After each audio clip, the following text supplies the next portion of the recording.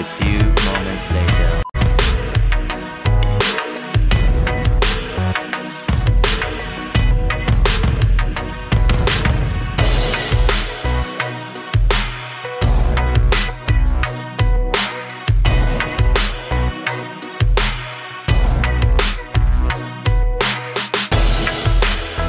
A few inches later,